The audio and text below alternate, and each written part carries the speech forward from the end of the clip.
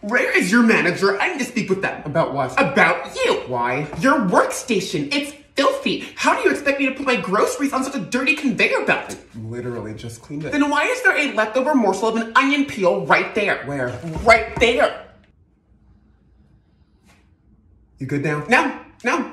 The onion's already cross-contaminated the conveyor belt. I really think you need to look up the definition of cross-contamination. You need to shut down your till and power wash this entire belt. Then I'll load my groceries. You have me at shut down my till. Bye.